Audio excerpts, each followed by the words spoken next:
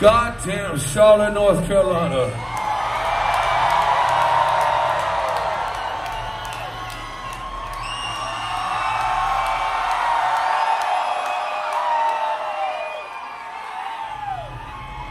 If I'm not mistaken, the first time we came here, we played this song called Little Love!